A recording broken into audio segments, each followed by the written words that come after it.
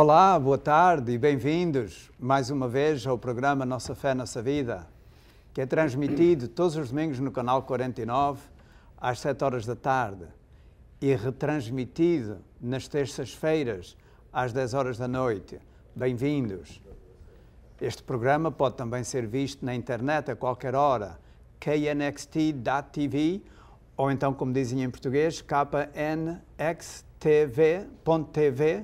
e aí podem ver os programas já passados.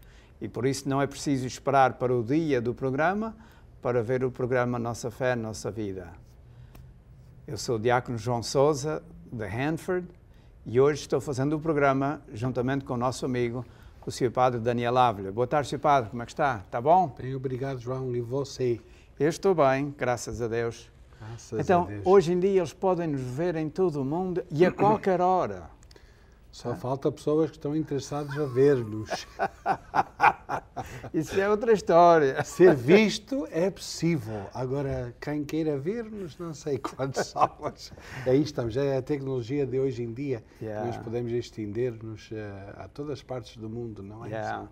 Quando vão ao knxt.tv, se tocarem no botão que diz YouTube, Uhum. Podem ver o nosso programa e praticamente o último ano de programas, que eles têm muitos programas dos últimos meses lá gravados. Sim. E também podem ver o nosso programa ainda antes dele sair na televisão, porque eles põem dois, três dias antes, às vezes uma semana. Sim. E, e assim as pessoas podem ver. Só está lá reservado para sempre. Yeah. Alguém queira ver as coisas ou, ou. Uh, não estava o João falando de alguma coisa. Eu lembro. Não, não foi assim. Eu vou. Ok, vamos lá ver. Isso então pode eh, evitar batalhas, não é só. É Ou então, quando, quando os tios vêm e estão a dizer: Oh, vocês já ter visto aquele programa Nossa Fé, Nossa Vida. O Padre Daniel disse coisas incríveis.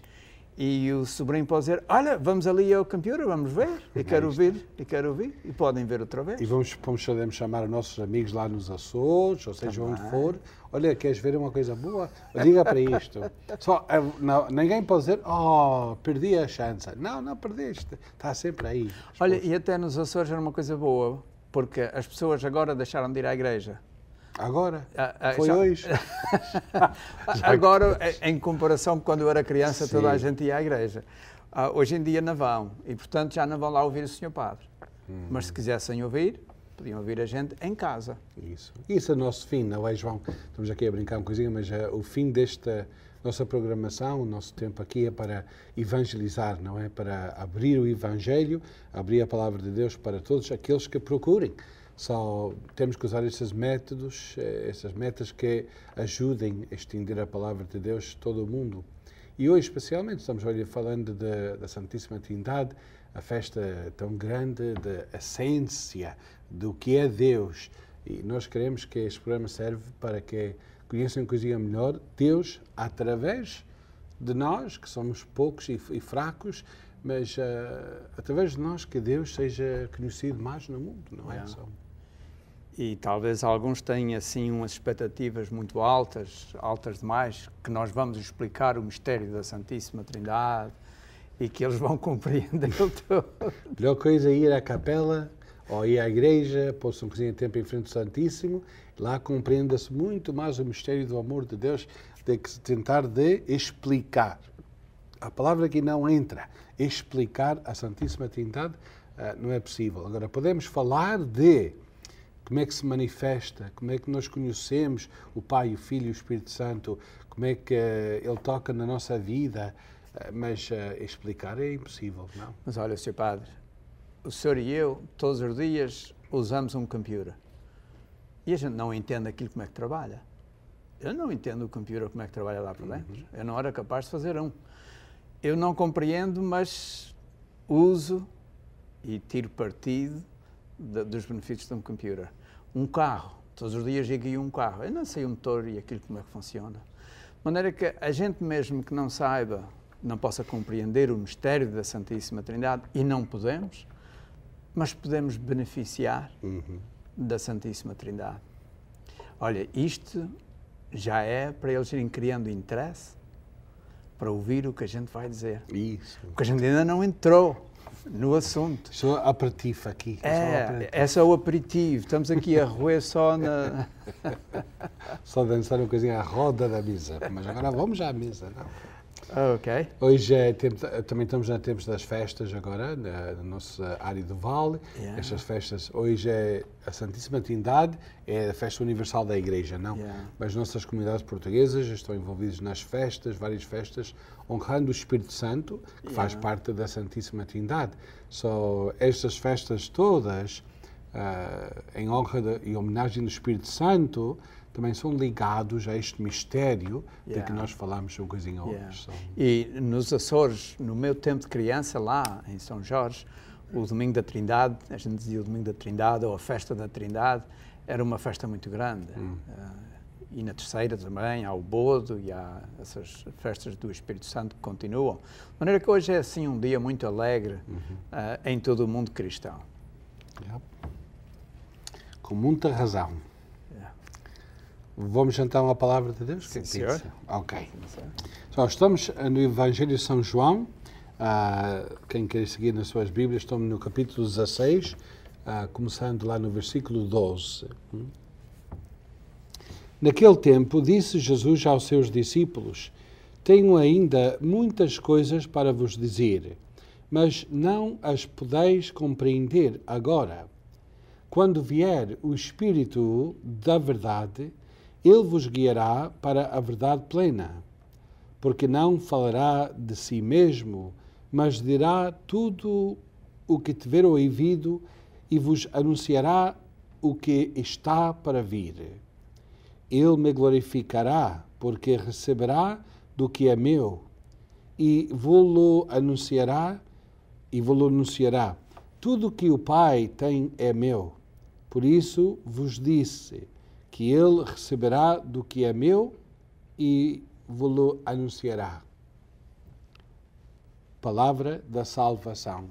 Glória a vós, Senhor. Oh, oh, Sr. Padre, hoje é o dia, é o domingo da Santíssima Trindade e não existe lugar nenhum na Bíblia que se fale da Santíssima Trindade.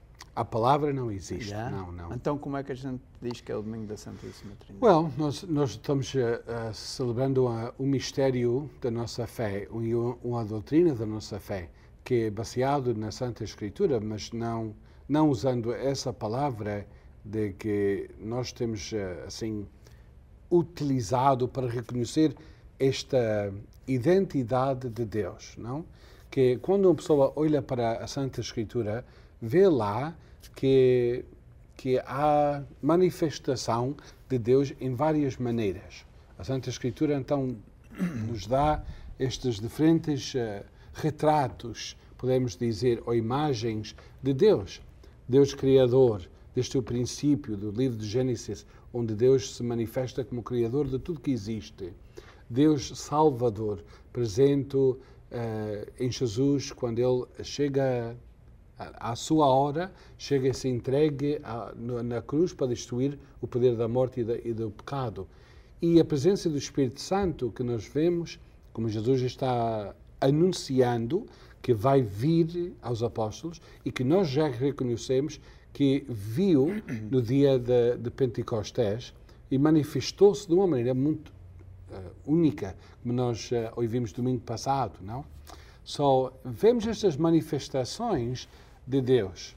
Agora, se uma pessoa não as lê toda numa unidade, podia cair na tentação de dizer: olha, este Deus do Antigo Testamento, comparado a este Deus dos Evangelhos e este Deus dos Atos dos Apóstolos, são vários deuses que nós temos aqui.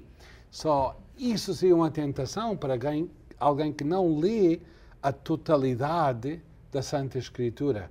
Mas quando vemos tudo, vemos uma unidade destes aspectos de Deus, que com o tempo a Igreja tem pronunciado. Isto refere-se a Deus triuno e uno. Não? Deus que é um, mas uh, expressado em três pessoas distintas. Yeah. E o Evangelho de hoje, aqui no Evangelho de hoje, Jesus diz abertamente: Tenho ainda muitas coisas para vos dizer, mas não as podeis compreender agora. Depois ele continua: quando vier o Espírito da Verdade, ele vos guiará para a verdade plena. Então, quando Jesus estava com os discípulos, um, ele não disse tudo o que havia para dizer e até mesmo aquilo que ele disse, os discípulos não compreenderam tudo. Hum. E, e, ele diz que ia mandar o Espírito Santo e que o Espírito Santo os guiará a, para a verdade total. E, e, também a palavra Santíssima Trindade não é importante em si. Hum. Não está na Bíblia a palavra, mas a palavra é apenas uma maneira de resumir uh, este mistério o mistério da Santíssima. A gente está a falar do mistério da Santíssima Trindade e ainda não disse o que é que ele é, só vocês talvez estão aí às aranhas a pensar, mas o que é isso? Olha, é o Pai, o Filho e o Espírito Santo. Claro. Não é? A gente, quando começa uma atividade a gente diz o nome do Pai, do Filho e do Espírito Santo, estamos a prestar honra à Santíssima Trindade. É a primeira oração que nós aprendemos, não é? Quais, quais são, quantos são os pais que ensinam as suas crianças o momento que podem já mexer os seus bracinhos a fazer a sinal da Santa Cruz e yeah. dizer essas palavras. Yeah. É, é yeah. a primeira oração e a primeira profissão de fé. Porque quando dizemos em nome do Pai, do Filho e do Espírito Santo, já estamos dando um credo. Nós professamos que há um só Deus em três pessoas distintas. Só a primeira oração e a primeira credo, podemos dizer, que nós aprendemos como cristãos. Yeah. Eu gosto dessa explicação assim. Realmente é um credo. A gente está a afirmar uma coisa da nossa fé, uma coisa em que a gente acredita. E uh, mesmo quando a gente vai para comer e a gente logo bença, abençoa, Senhor, este alimento que vamos tomar ou qualquer uhum. coisa assim, estamos sempre a professar a nossa fé na Santíssima Trindade. Uhum. De mais maneiras do que nós imaginamos. A gente às vezes pode pensar, ah, eu nunca falo na Santíssima Trindade, eu nunca penso na Santíssima Trindade. e pensamos Mas, todos os dias. Se nós somos católicos, é uma coisa que está sempre parte da nossa vida. Que até vemos os sinais da Santíssima Trindade dentro da nossa realidade, um, nossa realidade cristã, nossa realidade científica. Uh, um, eu lembro-me sempre, de, no princípio da, do, da Santa Escritura, Gênesis fala da criação do mundo, de, das coisas, não? E Deus, eu sempre lembro desta palavra que, que, fica aqui gravado, Deus, quando chega a fazer o homem e a mulher, uh, há uma linha dentro da Santa Escritura que diz, vamos fazer uh, o homem na, na, nossa imagem.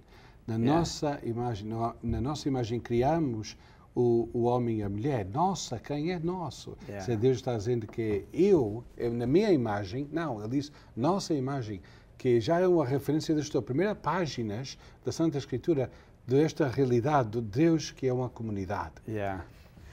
Ok, mas já é hora do intervalo, se yes. imagina. O que é que a gente vai dizer na segunda parte? Que é para as pessoas, quando forem agora buscar um, uma bebida à, geladeira, não ficarem muito tempo, podem perder. Olha, a gente vai falar sobre a essência de Deus, que é, no fim de contas, o mistério da Santíssima Trindade. Vamos fazer um intervalo, se vocês precisam lá ir à, à geladeira buscar uma cerveja ou um copo de água ou uma coisa, vão depressa para virem para trás e não perderem nada. A gente volta. Até já. KNXT thanks all its loyal viewers and respected businesses who have supported your Catholic television station. Now you can support KNXT with program underwriting by having your name, your company's name, or organization associated with your favorite program. Detailed information about you or your company will appear before and after each program or day part you select. Keep the quality and spiritual message alive and make a difference. Call 559 488 7440 today or go online at knxt.tv to find out more about program underwriting on KNXT. Olá, bem-vindos de novo ao programa Nossa Fé, Nossa Vida. Espero que vocês já tenham tido chance de voltar aos seus lugares, porque a gente vai dizer coisas importantes agora, não é, Sr. Padre, na segunda parte? Desde o princípio deste programa temos a dizer coisas importantes. Agora vamos dizer mais coisas importantes. Sim, mas a gente tem estado a construir. Agora é que vamos pôr o teto Sim. e acabar a casa e essas é, coisas todas. E almofadas e tudo isso e, que e é tudo isso. Então, afinal, o que é o mistério da Santíssima Trindade? Podemos dizer que é a vida íntima de Deus. E, embora Deus seja tão grande e tão acima de nós que a gente não pode compreender quase nada em comparação com a sua grandeza, Jesus Cristo revelou-nos que em Deus há três pessoas iguais e distintas, que são o Pai, o Filho e o Espírito Santo. O que é que podíamos dizer mais a respeito deste mistério? Eu acho que isso é. Eu acho que isso, isto escreve para nós uma, uma coisa essencial da nossa vida. Que se não podemos compreender ou dar a definição uh, completa do que é a Trindade, nós podemos falar da sua manifestação da nossa realidade humana. Que a marca da Santíssima Trindade eh, eh, manifesta-se em tudo que, em que é parte da nossa vida humana. Neste aspecto, se a, a, Trindade refere-se refere à vida íntima, à comunhão de Deus entre si, Pai, Filho, Espírito Santo, uma relação contínua, eterna, que não tem começo, não tem fim, e é uma relação dinâmica, que Deus ama o Pai, o Pai ama o Filho, o Filho ama o Pai, o Espírito Santo é o amor entre eles. Isto é uma coisa que existe e é dinâmico, é energia que dá tudo ao mundo, não? E nós vemos isso como nosso ser humano, no, no, no mais íntimo do que nós somos, somos criados para relação, para relacionar-nos um com o outro, não? Não, não há um homem nem uma mulher que foi criada só para existir só, não? Nós dependemos de outros, nós precisamos de outros, nós procuramos outros, nós contentamos com outros. Isso é importante, não? Só eu acho que a marca de se Deus é comunidade, marcou-nos de tal maneira que nós também precisamos dessa dessa comunhão com aquelas pessoas mais íntimas, com a sociedade mais grande e ultimamente com Deus. Porque se nós tentamos de viver separados, eh, sem relação a Deus, é uma vida muito eh, desastre, não? Yeah. Uma vida muito até, até que para a gente existir, uma pessoa só não pode fazer outra. Isso. Yeah. Precisa de duas. A raça não continua, não? Não, yeah. precisa de duas pessoas para criar outro ser humano. Uhum. So, desde o primeiro momento, que o, o ser humano existe em comunhão. E, e, é o resultado da comunhão de outros dois, uhum. não é? Um, e também, o senhor diga. No seu, no seu aspecto mais completo, essa verdade se revela na, na relação entre homens e mulheres, não? Uhum. É, da família, do casal. Isto é uma coisa onde se, mete, se mostra mais completo. Podemos dizer que temos uma relação como amigos, não? eu, eu dou uma parte da minha vida a ti, tu me das uma parte da tua vida, nós sentimos uh, mais ricos em conhecer um ao outro. Mas uh, a diversidade de, e a complementariedade de um homem e uma mulher, isso, isso é a plenitude da diferença que quando se une então vê-se como junta-se e como cai bem junto, não? Por isso é tão importante, isto toca em todo, tantas coisas que não vamos tocar hoje, mas do casamento, destas coisas de tentar de redefinir o que é o matrimónio, essas coisas todas. Quando vemos a relação entre homem e mulher, vemos aí um aspecto de que nos dá uma é uma janela para ver uma coisinha como é Deus, não? Yeah.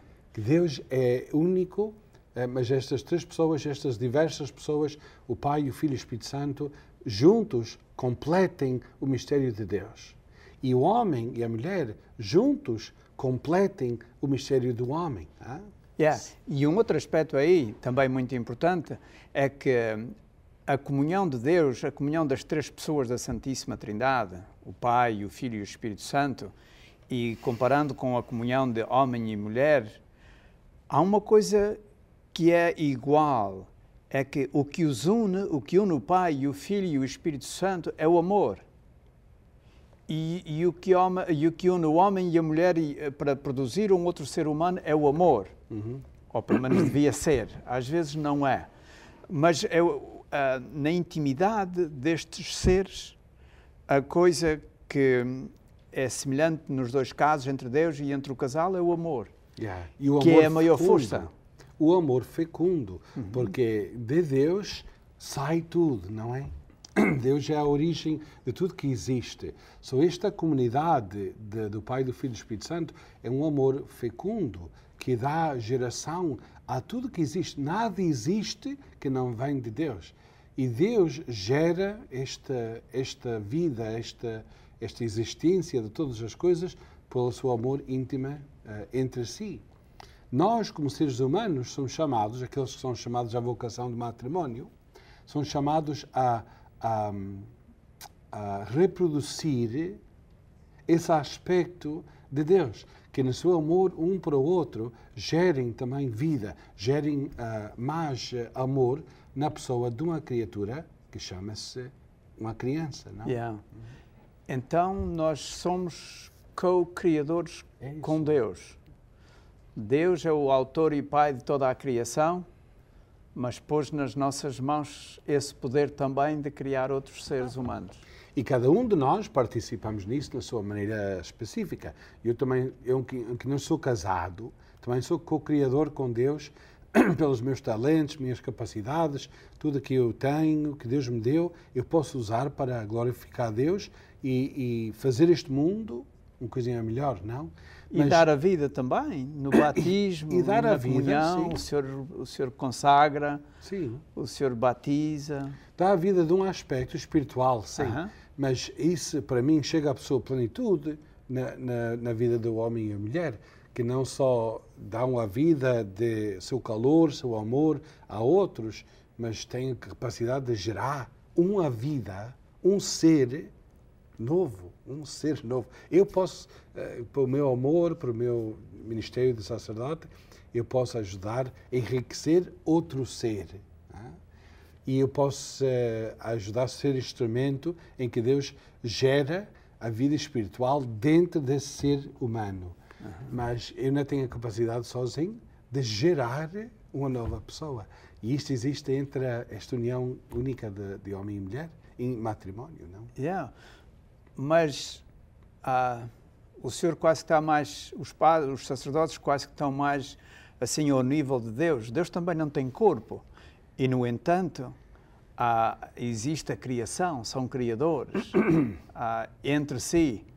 E, e, eu penso que gerar uma vida ah, espiritual no batismo, que é uma grande honra, porque os pais criam aquele corpo humano mas depois levam o seu filho ao batismo porque sabem que não são capazes de dar a vida divina. Hum. Só Deus é que a dá e deu o poder aos ministros da igreja, assim como deu ao casal o poder de procriar, também deu aos ministros da igreja o poder de trazer a vida divina hum. àquela criatura para ela ficar completa.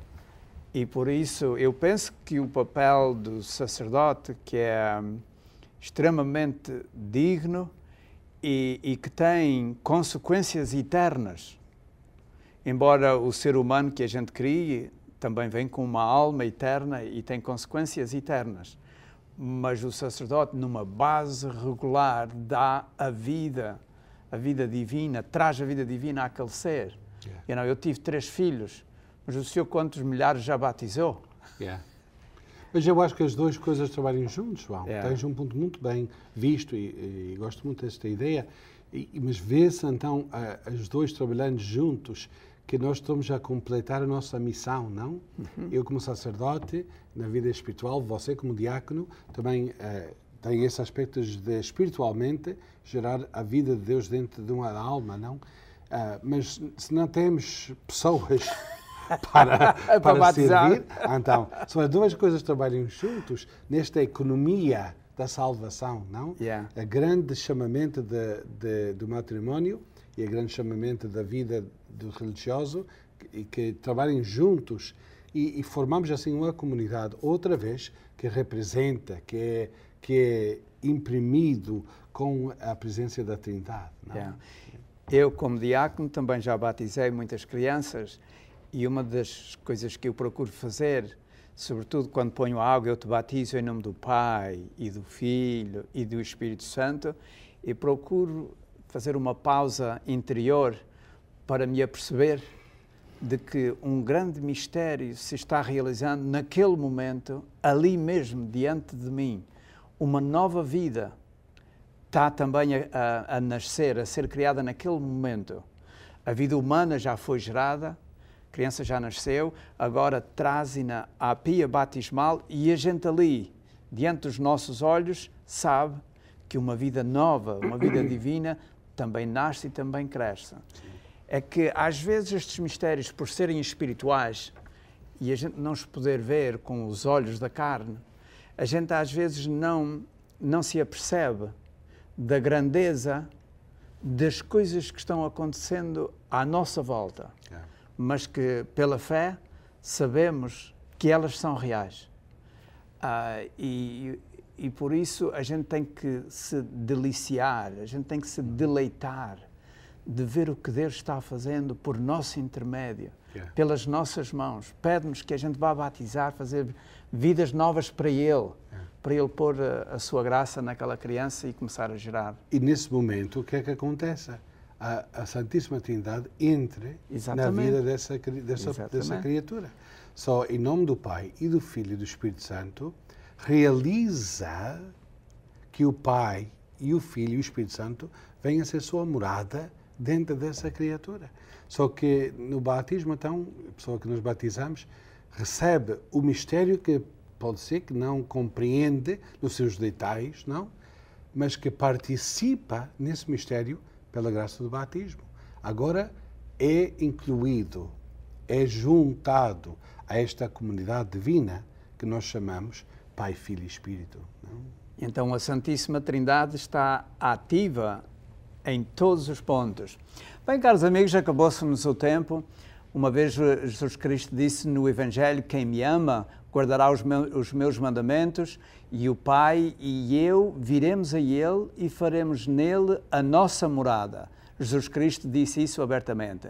Então, nós somos, depois do batismo, a morada da Santíssima Trindade, do Pai, do Filho e do Espírito Santo. Ele vive em nós pela graça. E por isso, dizia o Papa Leão Magno, reconhece ao cristão a tua dignidade. Obrigado pela vossa atenção. Boa noite a Deus.